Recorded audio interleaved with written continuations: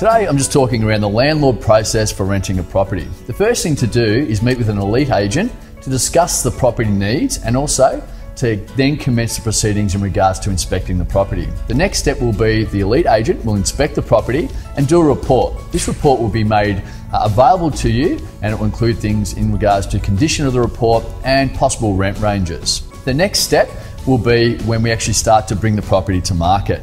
We'll look at doing professional photos, looking at releasing them on the portals, being realestate.com and domain, and a website, and also the use of signboards to attract the local traffic to the property.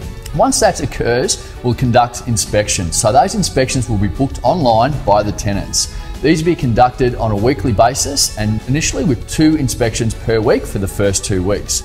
We'll give you feedback around those inspections the day of the inspection in the hope that we can actually attract the right applicant. We'll also involve the application process starting straight away. So as soon as an applicant shows interest, we'll commence those proceedings.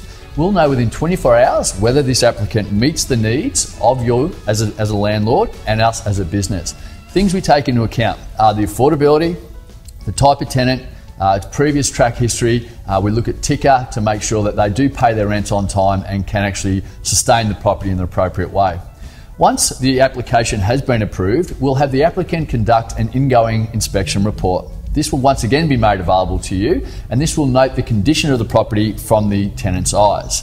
We'll note this in the system, and then from that point on, we'll conduct routine inspections to make sure the property is maintained to the level that you desire.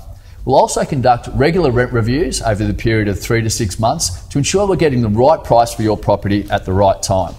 Once again, thanks for choosing Elite to manage your property. This is the landlord process.